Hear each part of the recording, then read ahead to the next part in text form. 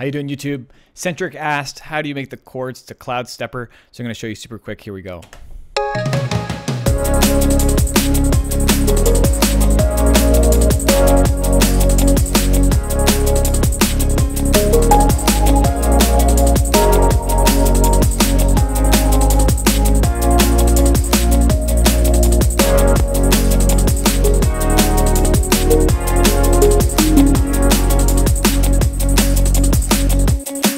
Think the song's originally in B flat major. I just transposed to C so it's easier.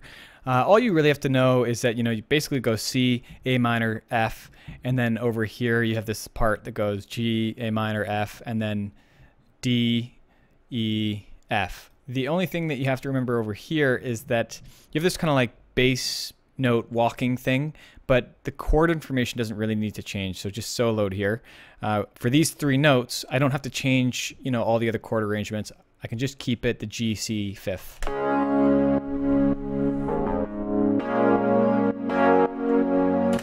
And the only other thing that's kind of really going on, there's kind of some pads and some other stuff, but I just have a little uh, here, which is a really awesome Reaktor ensemble.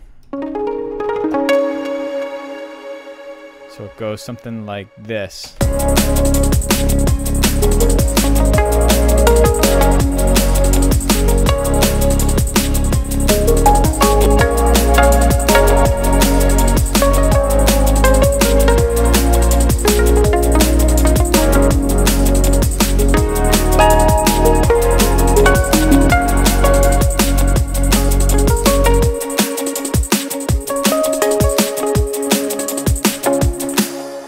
All right, cool.